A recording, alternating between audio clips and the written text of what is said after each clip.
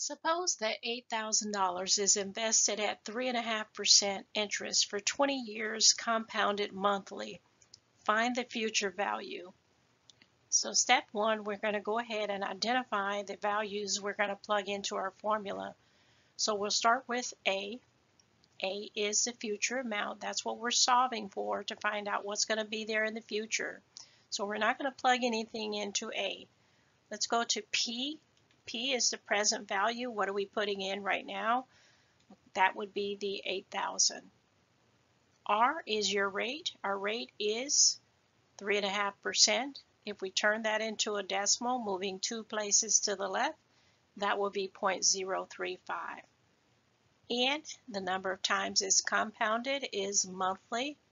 So that would be 12 times a year. So N equals 12 raised to the 12 times the time, which is 20. So once we plug it in, it's going to look like so.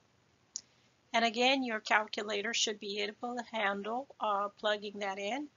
Uh, you'll need a scientific calculator. So for example, you can plug in 8,000 parentheses 1 plus 0.035 divided by 12 close parentheses, and then you can put 12 times 20 and press enter.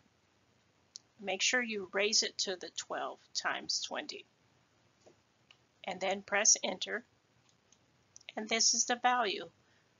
So after 20 years, this is the amount you would have in the account.